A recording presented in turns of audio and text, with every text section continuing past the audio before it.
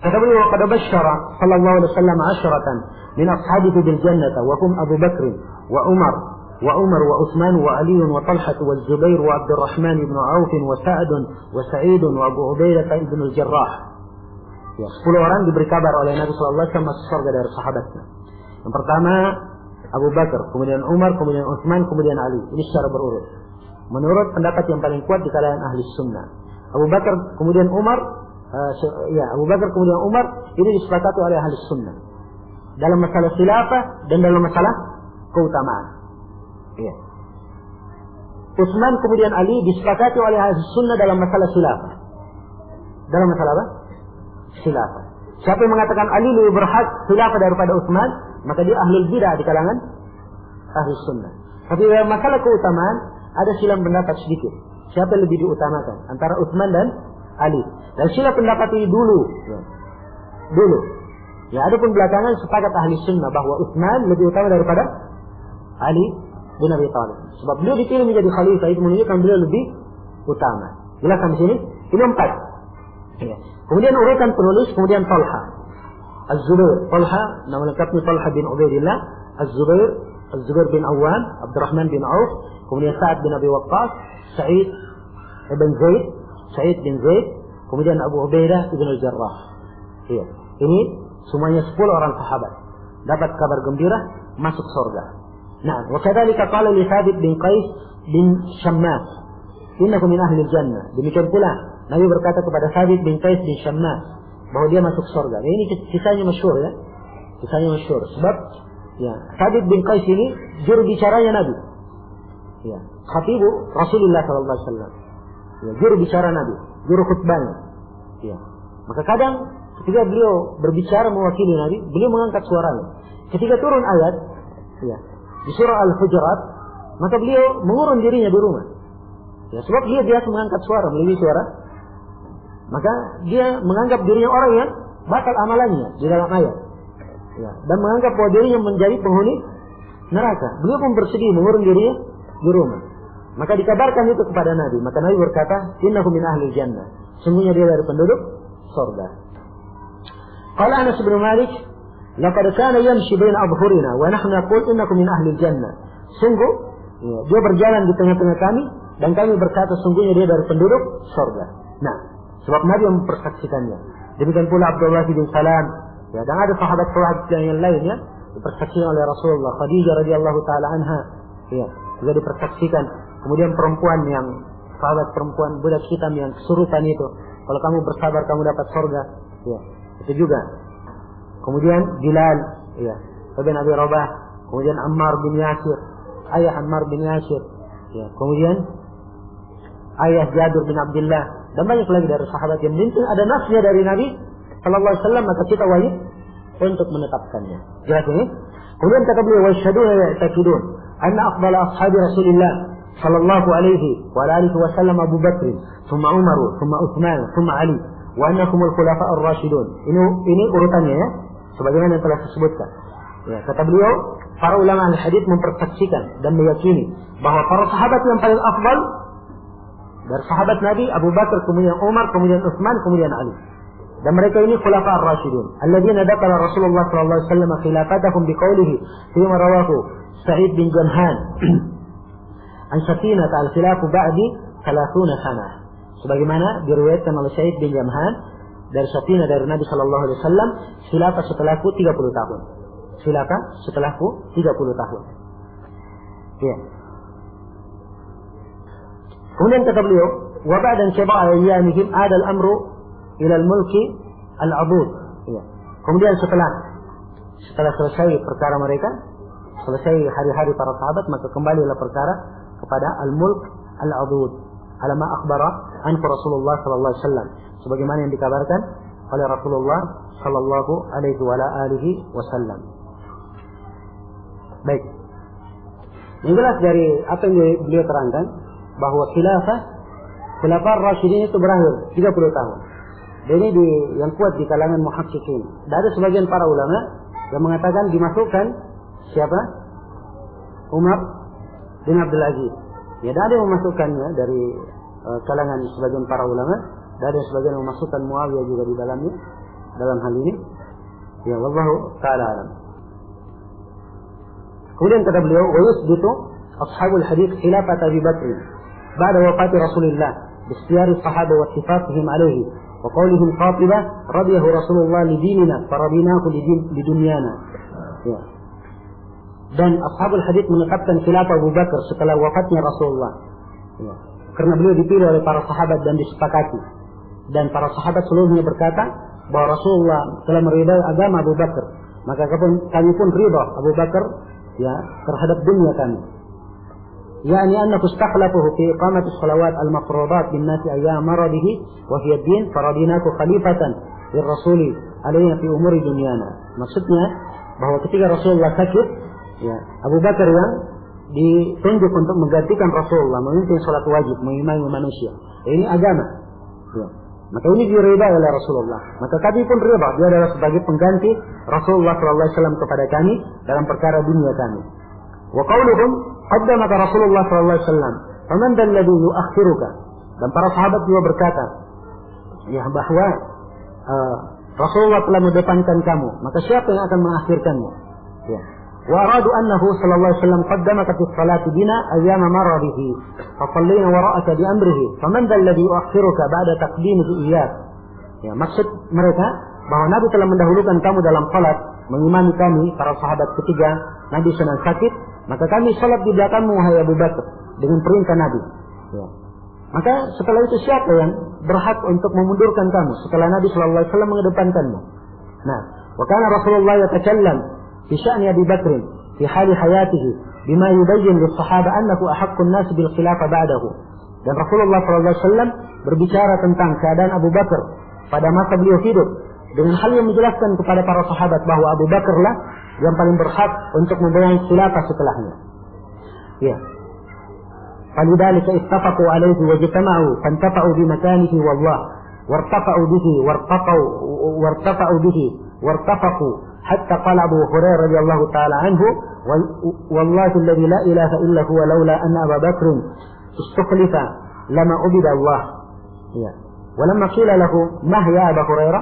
قام بحجة قام بحجة صحة قوله فصدقوه فيه وأقروه. Kata beliau, karena itulah para sahabat sepakat.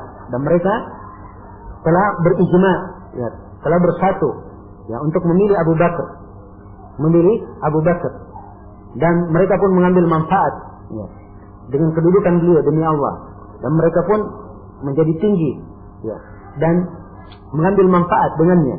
Ya. sampai Abu Hurairah berkata demi Allah yang tidak ada ilah selain selain dia. Andai kata bukan karena Abu Bakar yang diangkat sebagai khalifah maka Allah tidak akan diibadahi. Ya.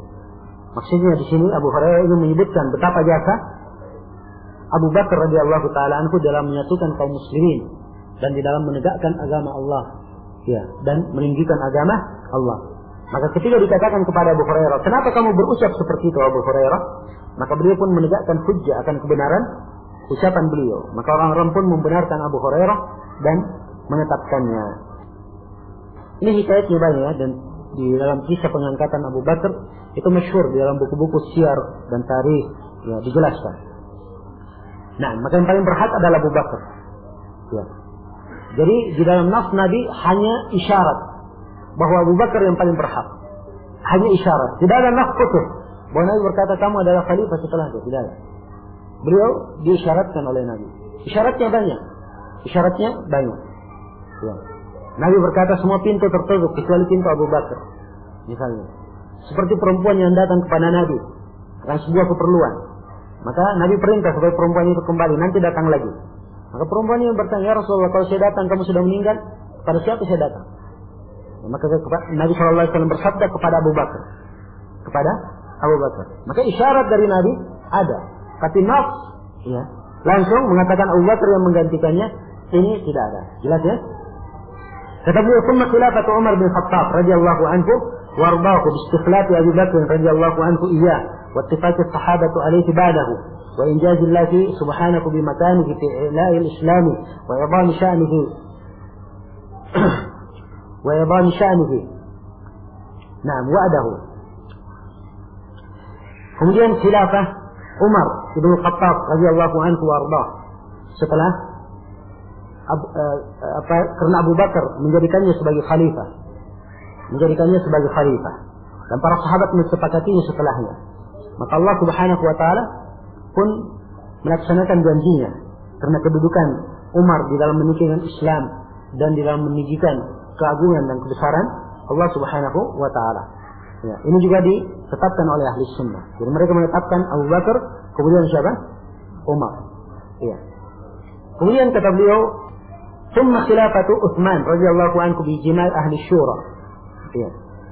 Jadi sekarang di dalam penentuan penguasa, penentuan siapa yang berhak menjadi penguasa, itu di dalam Islam dikenal dengan dua cara. Ada cara yang ketiga, itu dalam kondisi darurat. Ya. Dikenal dengan dua cara. Cara yang pertama dipilih oleh ahlul halli wal aqd. Dipilih oleh ahlul halli wal aqd. Ahlul halli wal aqd ini orang-orang khusus yang terkedepan di kalangan umat. Ya, Abu Bakar As-Siddiq dipilih oleh seluruh sahabat? Jawabannya tidak. Yang memilihnya hanya di bawah sakifah saja. Di bawah sakifah. Di bawah pohon korma saja yang memilih Abu Bakar. Di pelapa? Di bawah pelepah-pelepah korma. Sedikit yang memilihnya.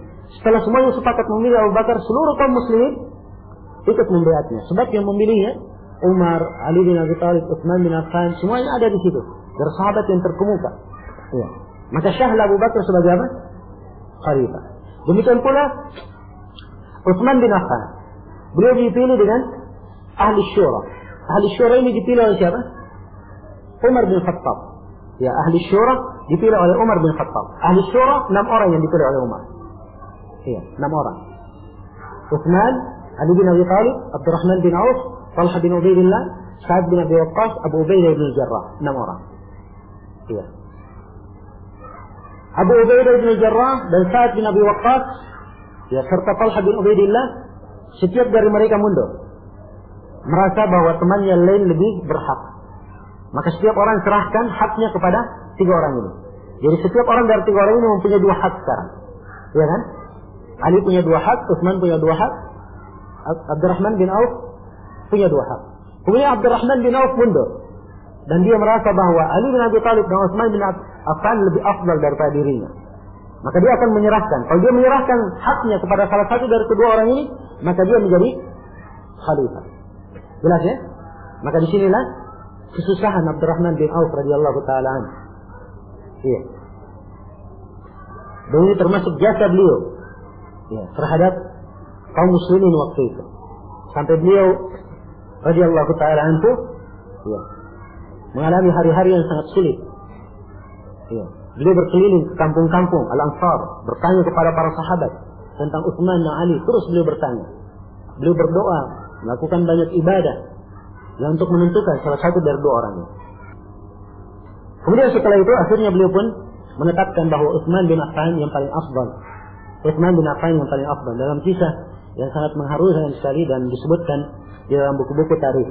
Iya. Baik. Kemudian kata beliau rahimahullah taala Suma khilafat Utsman radhiyallahu anhu bi ahli syura. Jadi itu cara yang pertama tadi ya dipilih oleh siapa tadi? Ahlul halli wal aqd. Cara yang kedua tadi kalau ada ada wilayatul ahad, pelimpahan kekuasaan. Pelimpahan apa? Kekuasaan. Jadi penguasa menyerahkan penguasa menyerahkan bahwa khilafah setelahnya adalah fulan. Ini dia limpahkan kekuasaan. Ini seperti Abu Bakar yang memberikan khilafah setelahnya kepada siapa? Kepada Umar. Setelah Abu Bakar meninggal, Umar pun menjadi khilafah. Para sahabat semuanya membaiatnya. Ini menunjukkan bahwa cara ini adalah cara yang benar. Dan para sahabat sepakat. Tidak ada yang siang pendapat. Dalam hal ini. Jelas ya? Maka ini dua cara. Cara yang ketiga. Ya, ini di kondisi darurat. Kalau misalnya ada yang menyimpang dari jalan yang lurus. Dia melakukan kudeta. Ya. Berhasil berkuasa. Dia berkuasa dengan apa? Dengan cara paksa. Maka begitu dia sudah berhasil berpuasa, maka seharusnya yang wajibnya bagi kaum muslimin harus mengakuinya sebagai penguasa. Untuk menjaga darah kaum muslimin dan menjaga jangan sampai terjadi perpecahan dan untuk menjaga kalimat kaum muslimin bersatu di atas satu pimpinan walaupun pimpinannya berbuat dosa. Jelas di sini? Iya. Dan ini disepakati juga oleh para sahabat. Sebab ini terjadi di akhir-akhir masa para sahabat ketika ada seorang khalifah yang mengguling, uh, Marwan bin Abdul Malik yang menggulingkan Abdullah bin Zubair, maka setelah dia berhasil berkuasa, maka para sahabat yang masih hidup, Abdullah bin Umar, Anas bin Malik, uh, Ibn Abbas semuanya membayat beliau dan tidak ada silang pendapat di kalangan para sahabat dan tabi'in. Ini tiga hal. Semuanya disebutkan oleh Imam Ahmad rahimahullah taala dan selainnya. Iya. Jelas ya? Kemudian khilafah di Jemaah ahli syura dengan kesepakatan ahli syura. Saya sudah sebutkan tadi siapa ahli syura. Wa jemaah sahabat kafatan. Dan para sahabat ya semuanya seluruhnya. Sebab ketika Abdurrahman bin Auf mengumumkan siapa yang dia pilih, beliau duduk di atas mimbar. Ya, kemudian beliau memuji Allah, kemudian memberi nasihat, kemudian memberikan alasan-alasannya. Kemudian beliau berkata bahwa tidak ada lebih berhak daripada Utsman. Dan Utsman radhiyallahu taala anhu seorang yang pemalu, beliau tidak duduk di depan, di belakang beliau duduk. Iya. Beliau memanggil Tal ya Utsman. Kemudian Abdurrahman bin Auf membaiatnya. Kemudian Ali berdiri membaiatnya dan seluruh para sahabat membaiat Utsman bin Affan radhiyallahu taala anhu. Waridahum bihi hatta ju'ila al-amru ilaihi. Ya, dan seluruh para sahabat rida terhadap Utsman sehingga dijadikanlah khilafah itu untuknya. فبين ثم خلافة علي رضي الله عنه ببيعة الصحابة إياها فببيعة الصحابة إياه. عرفه ورآه كل منهم رضي الله عنهم أحق الخلق وأولاهم في ذلك الوقت بالخلافة ولم يستجيد ولم يستجيد إسيانه وخلافه. يكون لي منكم فات أهل السنة أصحاب الحديث من تبقى خلافة علي بن أبي طالب dengan بيئة para sahabat kepada beliau. Ya. ini diketahui dan dipandang oleh setiap dari para sahabat bahwa Ali bin Abi Thalib waktu itu adalah makhluk yang paling berhak ya, dan paling pantas untuk memimpin khilafah. Dan mereka tidak membolehkan. Yang menentang ya, dan apa menyelisihi Ali bin Abi Thalib dalam hal ini. Maka empat orang sahabat ini ini secara berurut disepakati oleh seluruh para sahabat bahwa mereka adalah khulafa ar-rasyidin. Jelas? Fakana haula'il arba'atul khulafa, fakana haula'il arba'a al-khulafa ar-rasyidin. Maka mereka, fakana haulai arba'atu al-khulafa'a ar-rasyidin. Maka mereka empat orang ini semuanya dihitung sebagai apa? Al-khulafa ar-rasyidin. Alladzina naqara Allah bihim ad-din wa qahara wa qasara wa qahara wa qasara wa qasara بمكانهم الملحدين وقوى بمكانهم الإسلام ورفع أيامهم ورفع في أيام ورفع في أيام ورفع في أيامهم للحق ورفع في أيامهم للحق الأعلام. ونور بضيائه ونور بضيائهم ونورهم وبهائهم الظلام. وحقق بخلافتهم وعدة وأدف الثابت وأدف الثابت في قوله عز وجل وعد الله. نعم. وحقق بخلافتهم وأدف الثابت في قوله عز وجل وعد الله الذين آمنوا منكم وعملوا الصالحات ليستخلفنكم في الأرض كما استخلف الذين من قبلكم وليمكنن لكم دينكم الذي ارتضى لهم وليبدلنكم من بعد خوفهم الآيات وفي قوله أشداء على الكفار Nah, maka kata beliau mereka ini empat orang ini adalah khulafa ar-rasyidin. Ya Allah menolong agama dengan mereka. Allah mematahkan, ya, memecahkan dengan kedudukan mereka ini para mulsyidin, dan menguatkan Islam dengan kedudukan mereka dan meninggikan bendera-bendera Islam di hari-hari mereka, uh, meninggikan bendera-bendera kebenaran di hari-hari mereka. Maksudnya di masa-masa pemerintahan mereka dan diterangilah kegelapan itu dengan cahaya mereka ya dengan dengan apa namanya sinar cahaya dan keindahan mereka dan telah terwujudlah telah terwujudlah khilafah mereka yang dijanjikan oleh Allah Subhanahu wa taala dalam firman-Nya. Allah menjanjikan orang-orang yang beriman di antara kalian dan beramal saleh, mereka akan di apa namanya diberikan kedudukan di muka bumi sebagaimana Allah memberikan kedudukan kepada orang-orang sebelum mereka dan mereka akan diberikan tamkin terhadap agama yang diridhai untuk mereka dan sungguh akan diganti setelah rasa takut mereka diganti dengan keamanan al-ayah. Ya, dan terwujudlah firman Allah Subhanahu wa taala asyidda walal kuffar mereka adalah orang-orang yang keras terhadap orang kafir. Kemudian kata beliau faman ahabbahum wa tawallahum wa da'alahum wa ra'a haqqahum wa arafa fadlahum faza fil faizin wa man abghadahum wa sabbahum wa nasabahum ila ma tunsibuhu al-rawafid wal khawarij la'anakumullah faqad halakatil halikin. Qala Rasulullah sallallahu alaihi wasallam, la tasubbu ashabi faman sabbahum fa alaihi la'natullah. Kata beliau, siapa yang mencintai mereka? Siapa yang memberikan loyalitas kepada mereka? Siapa yang mendoakan para sahabat, yang menjaga hak-hak mereka, yang mengetahui keutamaan para sahabat, maka dia akan beruntung masuk ke dalam golongan orang-orang yang beruntung. Siapa yang membenci mereka, siapa yang mencela mereka, atau siapa yang menisbatkan mereka seperti apa yang dinisbatkan oleh orang-orang khawarij dan orang-orang orang-orang syiah dan orang-orang khawarij. Ya, sebab syiah mengkafirkan para sahabat kecuali Ali bin Abi Thalib dan beberapa orang sahabat saja. Ya, orang-orang khawarij mengkafirkan seluruh sahabat, orang-orang khawarij. Ini dua kelompok yang terkenal yang menyimpang dalam masalah para sahabat. Antara rawatib dan apa? Khawarij. Ada kelompok yang ketiga sebenarnya disebut dengan nama kelompok Al-Kamiliyah. Ya, kelompok Al-Kamiliyah ini dia kafirkan Ahlul Bait ya, sebab Ahlul Bait tidak mengambil haknya sebagai khilafah. Ya. Sebaliknya dia kafirkan para sahabat yang lain sebab mereka merampas haknya Ahlul Bait. Kalau Rafidah kan mereka mengkafirkan para sahabat karena merampas haknya siapa? Ahlul Bait. Kalau Khawarij dia kafirkan semuanya. Kalau Kamiliyah ya dua-duanya bolak-balik. Ya, dia kafirkan Ahlul Bait ya, kenapa? karena tidak mengambil haknya. Ya. Sebaliknya para sahabat juga dikabirkan karena merampas haknya ahlul bait dan semuanya adalah kelompok yang sesat sama saja. Kata beliau la'anakumullah. Semoga Allah semoga Allah melaknat mereka. Ini laknat umum ya. Laknat umum. Iya. Dan yang kalau melaknat umum tidak ada masalah. Tapi khusus orang per orang ini diperselisihkan oleh para ulama. Ini dikenal di kalangan muhaddisin dari ahli ilm bahwa tidak boleh melaknat khusus. Tidak boleh melaknat khusus. Maka ada halakatil hadikin. Maka siapa yang mencerca para sahabat, yang membenci mereka, maka dia telah binasa, masuk ke dalam orang-orang yang binasa. Rasulullah SAW bersabda, La tasubbu ashabi, jangan kalian mencerca para sahabatku. Ya, Faman sabbahum, siapa yang mencerca mereka, Fa'alaihi la'anatullah, maka untuknya la'anat Allah. Ya. Ini hadis datang di luar as-sahih, kalau dalam sahih Al-Bukhari dan sahih Muslim, Ya, la tasubbu ashabi. Kalau anna ahadakum anfaqa mithla Uhudin dahaban, ma balagha mudda ahadihim wala nasifa. Ya, jangan kalian mencerca para sahabatku. Andai kata salah seorang dari kalian menginfakkan harta sebesar uh, emas sebanyak gunung Uhud, maka infak kalian itu belum bisa mencapai ya satu mut.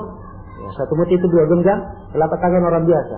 Belum bisa mencapai satu mut para sahabat. Tidak pula setengahnya. Bayangkan. Ya. Ini menunjukkan keutamaan para sahabat radhiyallahu taala Ya. Karena itu pernah ada yang bertanya kepada seorang imam memperbandingkan yang mana lebih afdal antara Umar bin Abdul Aziz dan Muawiyah radhiyallahu taala.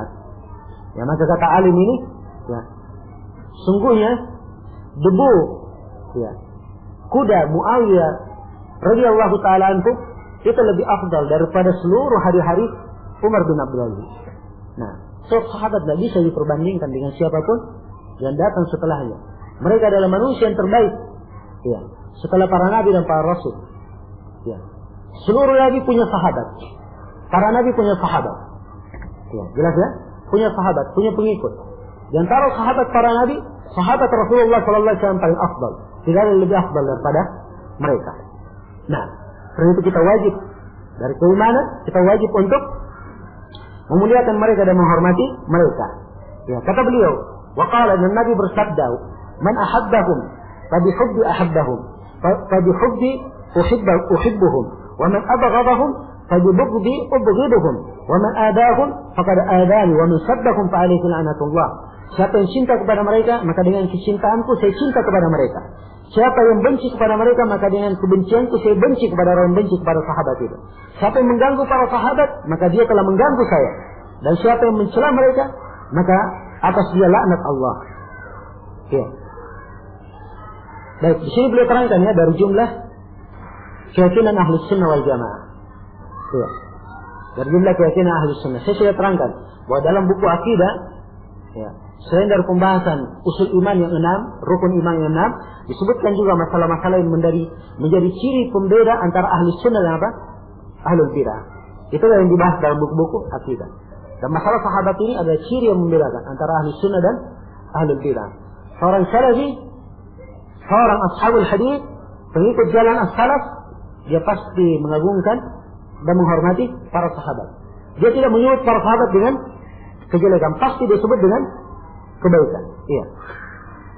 Kemudian kata beliau, "Wa yara ashabul hadis al-jum'ata wal 'idain wa ghairahuma min as-salawati khalfa kulli imamin muslimin barran kana au barran kana au fajira." Kata beliau dan ashabul hadis berpendapat untuk melakukan salat Jumat, salat Id dan selainnya dari salat-salat dilakukan di belakang setiap imam muslim.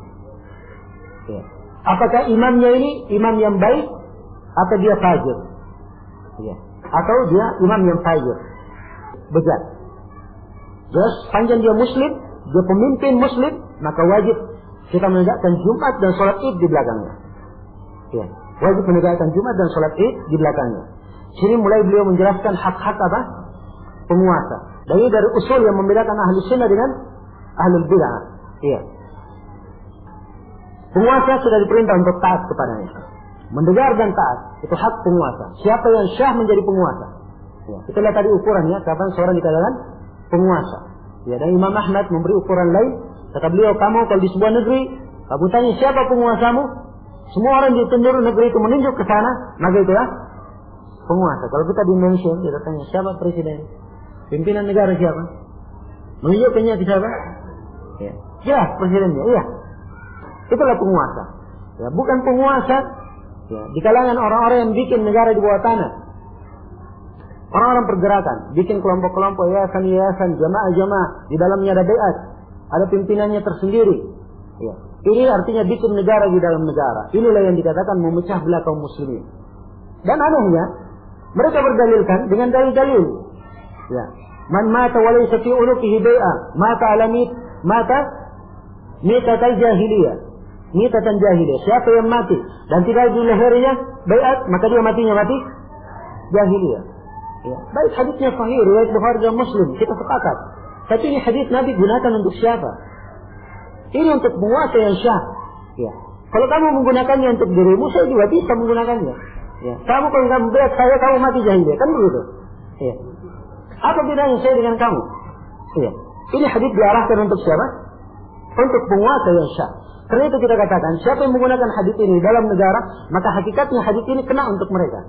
Mereka yang bikin beat-beat untuk pimpinannya, mereka yang mati jahiliyah. Sebab keluar dari ketaatan kepada kepada penguasa yang syah, yang harus mereka menyerahkan beatnya. Jelaskan di sini? Makanya dari usul ahli sunnah, taat kepada penguasa. Taat dalam hal yang apa? Hah? Hal yang ma'ruf. Ya, hal yang baik. Adapun maksiat tidak boleh taat kepada makhluk. Siapa pun tidak boleh taati dalam maksiat. Jelaskan di sini. Maka beliau uraikan di sini dari hak-hak penguasa. Penegakan Jumat. Asalnya Jumat tidak boleh ditegakkan kecuali dengan izin penguasa. Ya, karena itu di negara-negara yang memperlakukan hukum Islam, ya, semua yang mengatur Jumat itu harus penguasa. Dari kalau seperti di Saudi Arabia, yang mengatur dari Departemen Agama yang mengatur. Yang siapa yang menjadi imam, siapa yang menjadi khatib, masjid ini ditegakkan Jumat atau tidak, semuanya harus dengan izin. Ya. Kemudian dilihat, dilakukan studi kelayakan untuk dilakukan Jumat atau tidak. Ya, kita aja di Indonesia ini yang kacau. Ya. Tidak ada aturan dalam penegakan Jumat. Ya, dan memang ya pemerintah tidak mengambil ambil khusus di sini. Tapi harusnya dari ahli sunnah dalam penegakan Jumat dia harus ada izin ya, dari pemerintahan di setempat supaya diketahui tentang hal ini dan dia sejalan dengan kaya dengan prinsip ahli sunnah ini bahwa menegakkan Jumat harus di belakang apa? Di belakang penguasa. Jelaskan di sini. Iya, menegakkan Jumat dan dua Id. Ya, Idul Fitri dan Idul Adha. Semuanya harus di belakang penguasa. Ya. Kalau penguasa mengharuskan Id bersamanya, maka kita wajib ikut bersamanya. Jelaskan di sini. Tapi yang menjadi masalah kita di Indonesia ini, ya, sering diberikan dua pilihan. Ya. Nah, kami menetapkan hari ini, tapi yang mau lebaran sebelumnya silahkan. Ya. Mau lebaran setelahnya silahkan. Ya, inilah rusaknya demokrasi. Tidak bisa menyatukan umat. Ya, harusnya penguasa yang punya power ya, memberikan ketentuan. Itu harus begini. Semuanya ikut. Selesai bersatu kaum muslimin. Ya. Dan inilah tugas penguasa. Dia dipasang untuk ini. Ya. Salah satu tugasnya adalah menyatukan kaum muslimin. Jelaskan di sini? Iya. Untuk keberadaan kita di Indonesia ini tentang masalah penegakan ini dan selainnya ada hukum-hukum, pembahasan-pembahasan yang dibahas oleh para ulama kita. Dan selainnya dari salat, di belakang setiap imam muslim, apakah muslimnya baik ataupun fajir. Kemudian kata beliau wa yarawna jihad al-kafara ma'akum wa in kanu jawara fajara. Iya. Kata beliau dan ahli sunnah, ashabul hadis melihat untuk jihad bersama penguasa. Walaupun puasa itu senang-wenang dan mereka kalau penguasa yang bejat, kita wajib jihad di belakang mereka. Wajib untuk jihad di belakang mereka. Kenapa? Sebab Nabi yang menyatakannya. Dalam hadis Abu Hurairah yang diriwayatkan oleh Imam Al-Bukhari dan Imam Muslim, Nabi bersabda, "Innamal imamu junna yuqatalu min waraihi." Sungguhnya imam itu adalah apa? Adalah tameng. Dilakukan peperangan di belakangnya, harus di belakang imam. Dia memimpin peperangan. Setelah itu tidak jihad, tidak ada bendera jihad kecuali di bawah pimpinan. Ya. Kalau pimpinan menyuruhkan jihad, barulah ada jihad. Ya, sampai sekarang ini diteriakan Filistin dan Filistin. Ya semua orang dari kaum muslimin sedih. Ya siapa tidak sedih saudara-saudara kita dibantai. Ya. Nah, mendapatkan musibah. Ya, seluruh kaum muslimin sedih akan hal tersebut. Ya, tapi orang-orang yang menyuruhkan jihad-jihad dari dulu pendusta mereka itu. Ya. Hanya menyuruhkan jihad-jihad. Belakangan setelah berkumpul orang tidak ada yang berangkat. Ya. Tidak ada yang berangkat. Ketika ada jihad, mereka paling belakang lari. Ya. Tidak ada buktinya. Hanya mencari nama saja untuk partainya, untuk kelompoknya, nanti di pemilihan suara bisa berharga. Ya. Demikian. Karena itu berhati-hati dari masa ini orang-orang menyuruhkan seruan-seruan memanfaatkan keadaan. Seorang muslim berada di atas pijakan yang kuat. Di atas pijakan yang kuat. Ada prinsip-prinsip yang kita pegang. Nah, demikian pula dari hak penguasa melakukan kunut nazilah. Kunut nazilah itu harus dengan izin penguasa.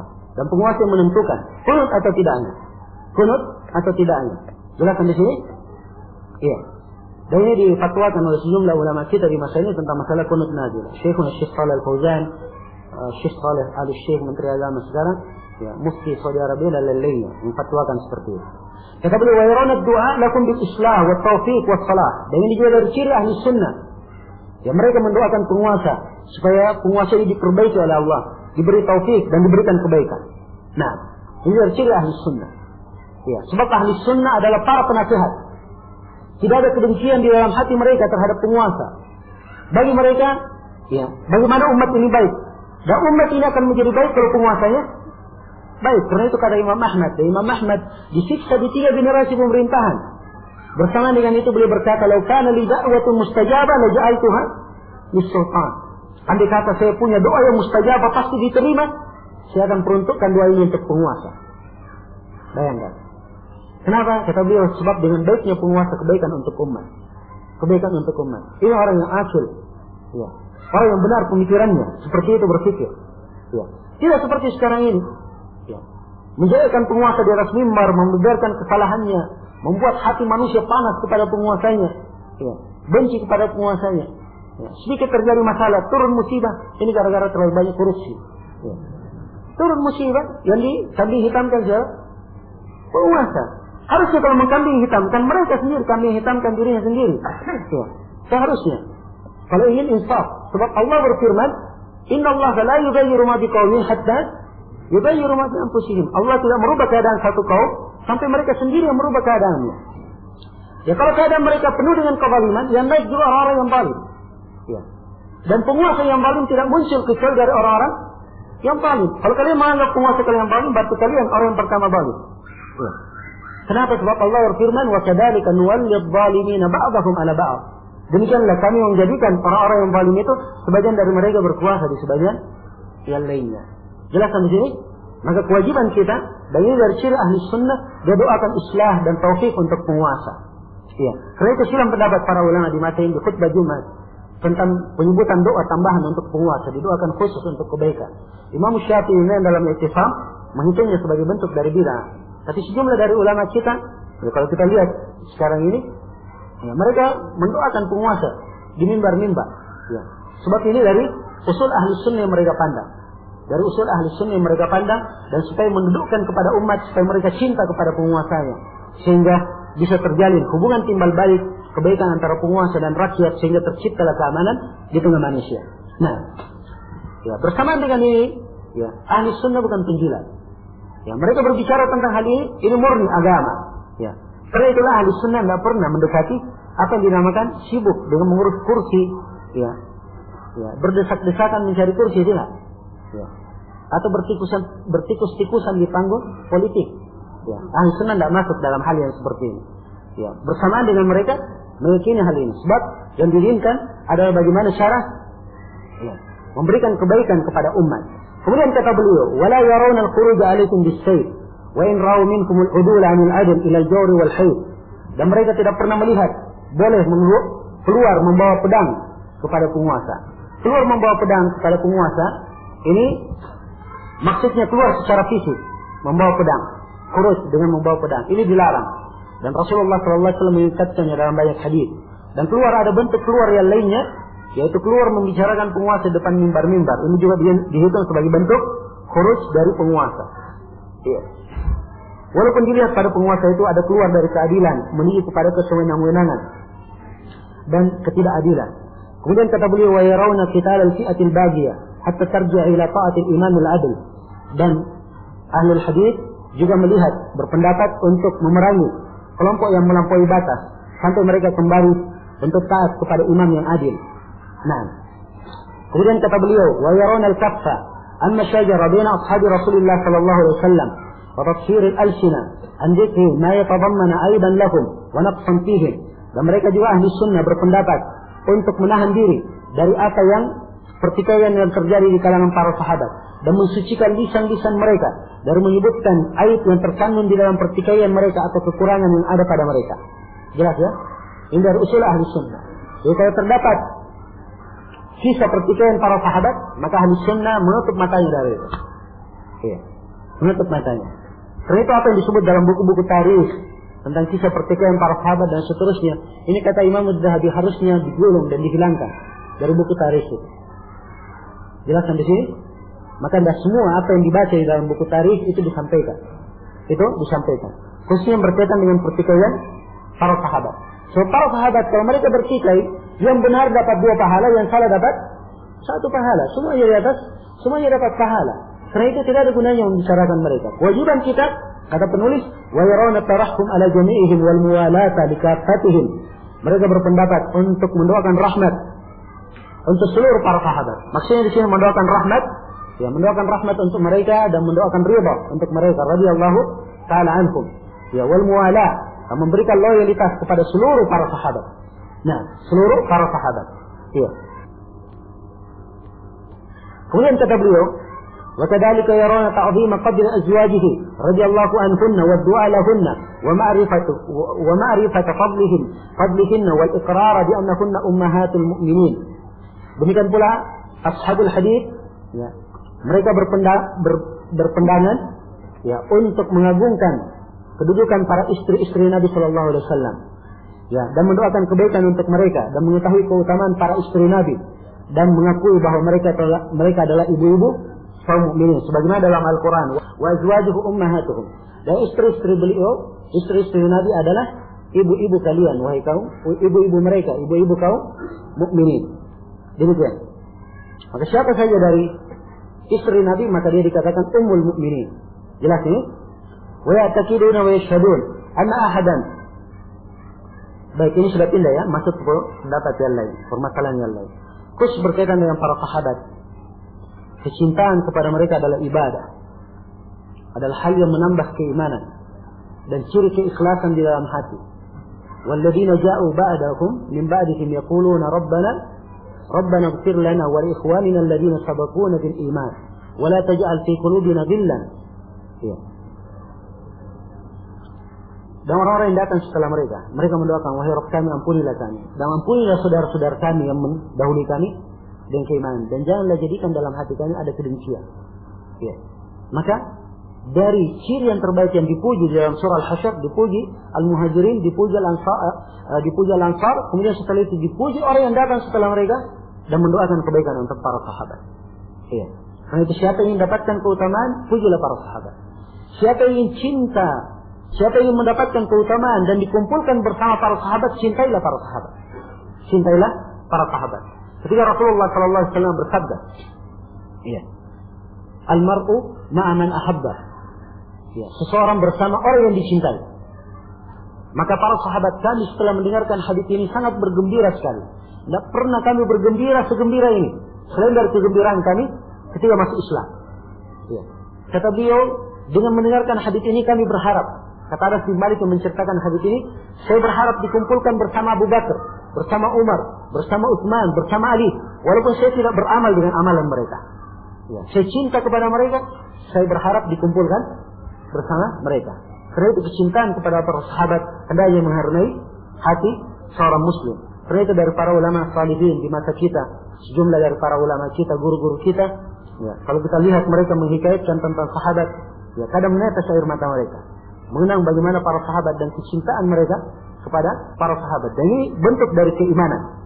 Bentuk dari keimanan. Kemudian kata beliau, wa ya'takiduna wa yashhaduna أن أحدا لا تجب له الجنة وإن كان عمله حسنا وطريقه مرتضى إلا أن يتفضل الله عليه فيوجبه له بمنه وفضله إذ عمل الخير الذي عمله لم يتيسر له إلا بتيسير الله عز اسمه.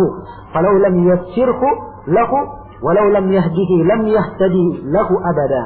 قال الله عز وجل ولولا فضل الله عليكم ورحمته ما زكى منكم من أحد أبدا ولكن الله يزكي من يشاء في آيات سواها.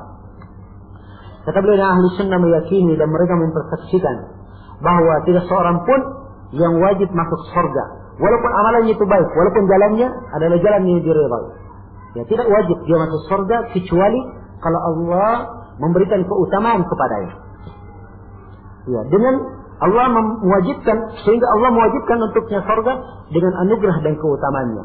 Karena amalan kebaikan yang merupakan amalannya, amalan kebaikan ini dia tidak lakukan kecuali dengan kemudahan dari Allah. Allah yang memudahkan dia melakukannya. Ya. Dan tidak akan dimudahkan untuk dia amalan ini. Andai kata Allah tidak memudahkan untuknya. Andai kata Allah tidak memberi hidayah untuknya. Maka dia tidak akan mendapat hidayah untuk bisa melakukan amalan tersebut. Ya. Karena itulah semuanya kembali kepada Allah subhanahu wa ta'ala. Ya. Allah berfirman, andai kata bukan karena keutamaan Allah dan rahmatnya, maka tidak seorang pun di antara kalian yang suci sama sekali. Ya. Akan tetapi Allah mensucikan siapa yang Allah kehendaki. Dan ada beberapa ayat yang lain selain daripada ayat ini, kata penulis. Baik. Maka poin dari poin ini penekanannya beliau menekankan bahwa seorang itu masuk surga bukan murni karena amalannya. Dia masuk surga karena apa? Karena keutamaan Allah Subhanahu wa taala. Amalan adalah apa? Sebab masuknya surga. Ya, sebab yang menyebabkan seorang itu apa? Masuk surga. Bukan amalan yang memasukkan ke dalam surga. Jelas ya? Karena itu Nabi Shallallahu Alaihi Wasallam juga menyebutkan ya bahwa tidak seorang pun masuk surga dengan amalannya. Maka yang berkata ya Rasulullah tidak pulang kau kata Nabi tidak pula saya. Tetapi Allah merahmati saya meliputi saya dengan rahmatnya. Maka seorang masuk surga dengan rahmat Allah dan rahmat Allah itu didapatkan dengan apa? dengan amalan yang salih. Itu yang menjadi sebab. Ya. Karena dia beramal salih, maka dia pun dengannya masuk surga. Kemudian kata beliau, wa ya'takiduna wa yashhaduna anna Allah azza wa jalla أجل لكل مخلوق أجلا. وأن نفسا لا تموت لن تموت إلا بإثمه كتابا مؤجلا. وإذا انقضى أجل المرء مر أجل المرء فليس إلا الموت وليس منه فوت. قال الله عز وجل ولكل أمة أجل فإذا جاء أجلهم لا يستأخرون ساعة ولا يستقدمون. وقال وما كان لنفس أن تموت إلا بإذن الله كتابا مؤجلا. Dan mereka meyakini dan mempersaksikan bahwa Allah Azza wa Jalla telah menetapkan untuk setiap makhluk ajalnya. Dan setiap jiwa tidak akan mati kecuali dengan izin Allah. Dan ini adalah ketentuan yang telah ditetapkan. Dan apabila sudah selesai ajal seseorang, maka tidak ada lagi kecuali kematian. Dan, dan tidak ada lagi waktu yang luput. Allah Azza wa Jalla berfirman setiap umat ada ajalnya. Dan apabila telah datang ajalnya maka tidak bisa diakhirkan walaupun sesaat dan tidak bisa dikedepankan. Dan Allah berfirman dan tidaklah seorang jiwa itu meninggal kecuali dengan izin Allah. Itu adalah ketentuan yang telah di apa namanya? di uh, kitaban muajjala. Dia adalah ketentuan yang telah diakhirkan. Nah, ya maksudnya yang datang setelahnya. Iya. Baik di sini beliau tekankan bahwa setiap makhluk itu ada ajalnya. Setiap makhluk itu ada ajalnya. Saya dia mati, maka itulah setelah selesai ajalnya, ketentuannya maka dia pasti akan mati dan tidak akan luput. Dan ini bantahan pada sebagian ahli bidah yang berbicara tentang masalah ajal, yang ada uh, apa ada luput dan sebagainya. Ya. Di sini oleh Imam Al-Barbahari dalam Syarh Sunnah. Beliau di sini isyaratkan walaupun tidak menyinggung langsung. Tapi ini dari usul ahli sunnah. Kemudian kata beliau, "Wasyhaduna anna man mata aw qutila فقد انقضى أجله قال الله عز وجل لو كنتم في بيوتكم لبرز الذين كتب عليهم القتل إلى مضاجئهم وقال أينما تكونوا يدرككم الموت ولو كنتم في بروج مشيدة dan mereka bersaksikan bahwa siapa yang mati atau terbunuh maka sudah selesai ajalnya ya sudah selesai ajalnya ini semua dimaklumi ya tapi sini penulis menekankan sebab ada ahli bidah yang menyimpang di dalam masalah ini yang menyimpang di dalam masalah ini Allah firman andai kata kalian berada di rumah-rumah kalian niscaya akan nampak ya, kematian itu kepada orang yang telah ditetapkan atas mereka kematian. Ya. Nam, akan menjemput mereka ke mana? Ke tempat tidur-tidur mereka. Kalau memang sudah ditetapkan, akan nampak juga. Dan Allah firman di mana pun kalian berada, kalian akan dijemput oleh kematian. Walaupun kalian berada di benteng yang sangat kokoh. Ya. Kemudian terus berkata, wa takidun, anna Allah subhanahu khalaqa syayatin yuwaswisuna lil adamiyyin ويفسدون استذلالهم ويترصدون لهم. قال الله عز وجل وإن الشياطين ليوحون إلى أوليائهم ليجادلوكم وإن أطعتموكم إنكم لمشركون. وأن الله تعالى يسلطهم على من يشاء ويؤسم من كيدهم ومكرهم من يشاء. قال الله عز وجل واستفزز من استطعت منكم بصوتك وأجلب عليهم بخيلك ورجلك وشاركهم في الأموال والأولاد وعيدكم وما يعدكم الشيطان إلا غرورا. إن عبادي ليس عليك ليس لك عليكم سلطان وكفى بربك وكيلا. وقال إنك ليس لك سلطان إلا على الذين آمنوا. ليس لك سلطان على الذين آمنوا وعلى ربهم يتوكلون. إنما سلطانك على الذين يتولونه الآية. ahli sunnah meyakini bahwa Allah subhanahu wa ta'ala menciptakan para. Memberikan waswas kepada anak Adam. Dan memaksudkan supaya mereka tergelincir. Dan mereka terus menerus mengintai anak Adam ini supaya dibuat mereka tersesat dan tergelincir. Nah, Allah Subhanahu Allah Azza wa Jalla berfirman, sungguhnya para syaitan mewahyukan kepada wali-walinya supaya mendebat kalian. Dan kalau kalian taat kepada mereka, sungguh kalian telah berbuat kesyirikan. Nah, dan Allah Subhanahu wa taala ya menjadikan syaitan itu berkuasa kepada siapa yang Allah kehendaki. Dan Allah menjaga siapa yang Allah kehendaki dari tipu daya syaitan dan dari makar syaitan. Allah Azza wa Jalla berfirman dan firman Allah kepada iblis, ya, "Ustafjis man istata'ta minhum." Ya, tariklah siapa yang kamu mampu. Ya. Kamu tarik di antara mereka, di sautika dengan suaramu, wa ajrib alaihim bi. Seranglah mereka dengan apa namanya? kuda-kudamu, wa dan kekuatanmu. Ya apa dengan uh, uh, dengan uh, dengan menunggangi kuda atau dengan berjalan? Ya. Wasyarikum fil amwali wal aulad wa'idhum ya. Bersyirikatlah kamu pada mereka pada harta dan anak-anak. Dan berikanlah janji-janji kepada mereka. Dan tidaklah janji-janji syaitan itu kecuali tipu daya. Ya. Kemudian Allah menekankan inna ibadi. Sungguhnya hamba-hambaku laisa laka alaikum sultan. Tidak ada kekuatan atas kamu untuk menyesatkan hamba-hambaku. Dan cukuplah Rabbmu sebagai wakilah Nah, yang memberikan uh, perlindungan atau tempat bergantung. Wakala innahu laysa lahu sultan dan sungguhnya ya, syaitan itu tidak mempunyai kekuasaan terhadap orang-orang yang beriman dan kepada Rabbnya dia bertawakal. Sungguhnya kekuasaannya hanya kepada orang-orang yang memberikan loyalitasnya kepada syaitan. Ada ayat. Nah, sini jelaskan tentang syaitan. Kita wajib meyakini adanya syaitan. Dan syaitan itu ada dua jenis, dari kalangan jin dan dari kalangan manusia. Ya. Dan ya, asal dari syaitan adalah iblis. Ya. Dan syaitan itu bentuknya banyak. Ya. Dan makar mereka juga beraneka ragam. Ya. Yang jelas tidak ada yang mengikuti jalan syaitan kecuali orang-orang yang memberikan ada bentuk loyalitas kepada syaitan.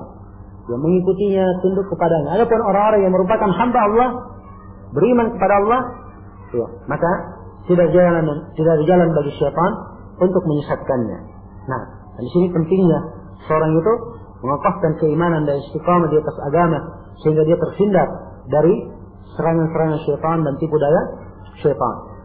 Kemudian penulis berkata wa yashhaduna anna fid dunya tihran wa saharatan illa annahum la yadurruna ahadan illa bi idznillah azza wa jalla wa ma hum bidarrin bihi min ahadin illa bi idznillah.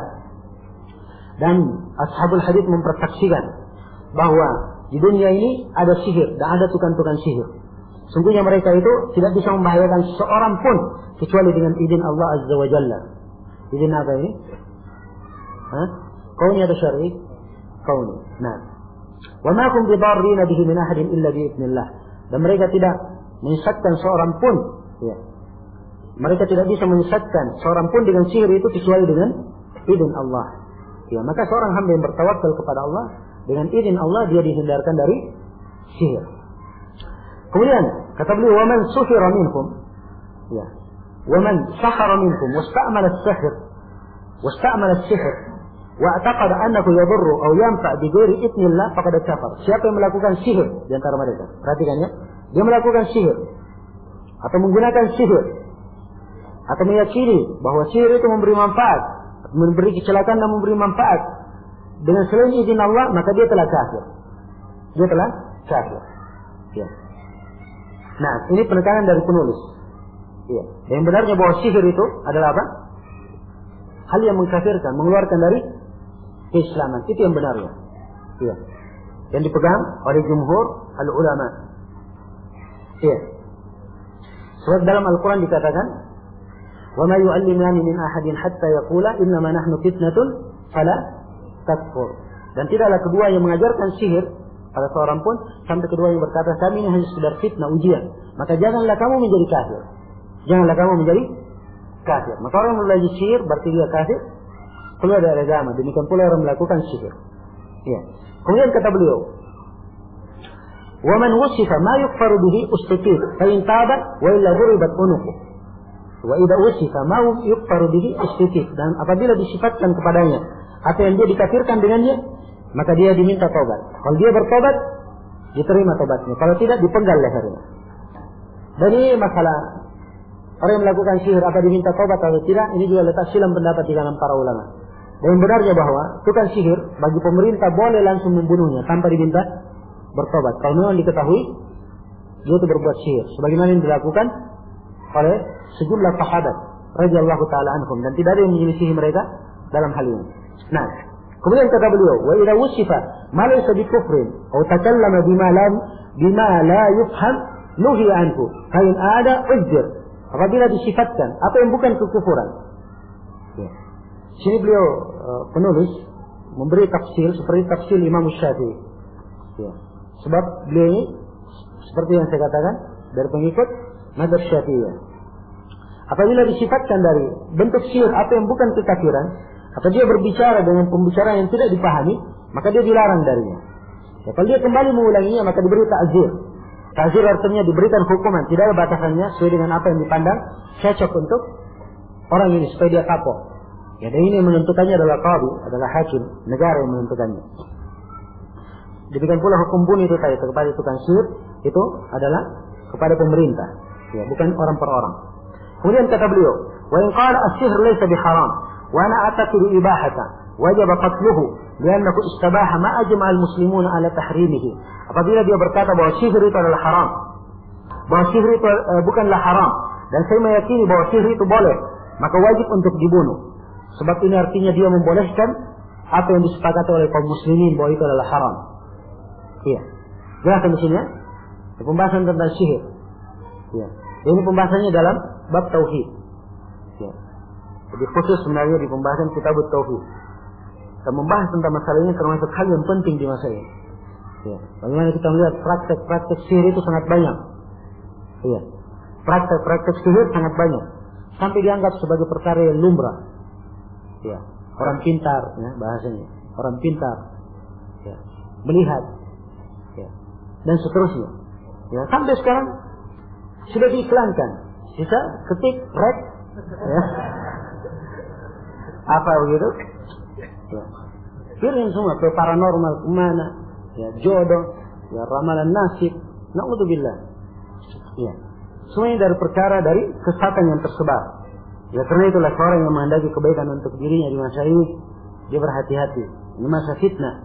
Ya, kemudian seorang semakin banyak berpegang dengan agamanya, mempelajari tuntunan agamanya supaya kuat hatinya di atas keimanan. Dan dia tahu apa-apa yang salah, apa-apa yang tidak benar dia hindari. Dan dia bisa mengajak manusia kepada kebaikan.